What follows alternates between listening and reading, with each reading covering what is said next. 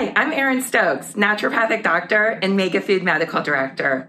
I'm here to talk with you today about one of our most popular and beloved supplements, Blood Builder. Here are three things to know about Blood Builder.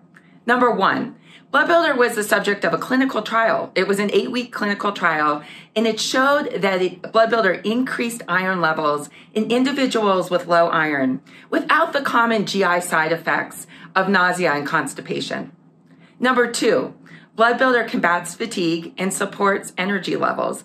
It can be taken any time of day, even on an empty stomach.